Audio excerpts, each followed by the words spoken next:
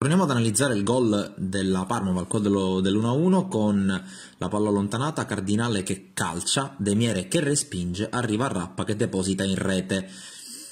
Vediamo ancora rallenti l'azione perché a un certo punto vedrete sbucare dalle retrovie della linea difensiva della Don Carlo Rappa ma zoomiamo ancora di più sul movimento di Rappa fin dall'inizio dell'azione. Vedete, Rappa col numero 10 arriva sul fondo, mette al centro, noi continuiamo a seguire Rappa con le immagini, lo vedete.